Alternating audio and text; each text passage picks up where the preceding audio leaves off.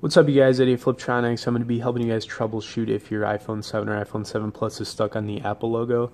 So, you guys, I've been there. Um, you know, I've had this problem in the past before, and there's pretty much three different things I'm going to recommend doing.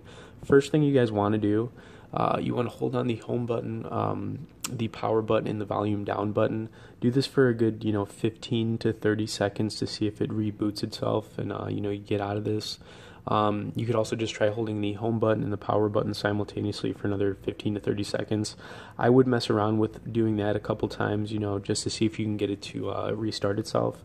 Normally, this could just have been, um, you know, some kind of software glitch or, uh, you know, some kind of crash or whatever on your iPhone. So it's not like your iPhone's broken, but, um, you know, just try doing those combinations. So, like I said, do the home button, uh, power button, uh, simultaneously for 15 30 seconds then try to add the volume down button into it to mix it up to see if you can get it to work that way another thing you guys could do is um, you know plug your iphone into itunes on your mac or pc and when you guys do that you want to pretty much do the same thing again hold down the home button and power button and then um, as soon as your iPhone restarts, continue holding down the home button. That way, it'll put your uh, iPhone into DFU mode, and then you could pretty much get your iPhone to restore as new. You'll lose your data, but as long as you backed everything up on um, your uh, on your Mac, PC, iCloud account, Dropbox account, you'll be okay.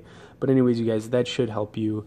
Like I said, I'll leave um you know the tips in the description box. You guys can go over them. But basically, those are the three things you can do, and um you know uh you should be able to get back in your iPhone. It's happened to me many times, you guys. So uh, you really just got to work with it and just kind of you know do those steps over and over again until you can get back into it. Thanks for watching this video, you guys. Stay tuned for more and be sure to subscribe to our channel.